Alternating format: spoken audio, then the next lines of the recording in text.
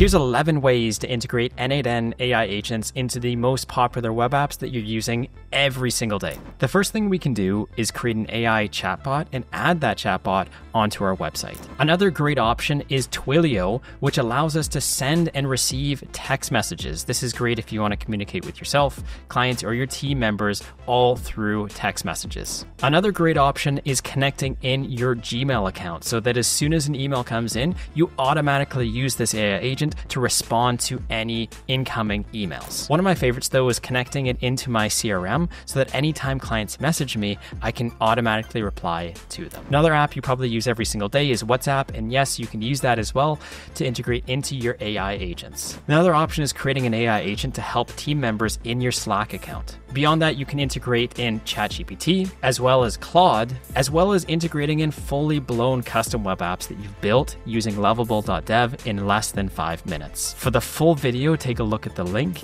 in the description.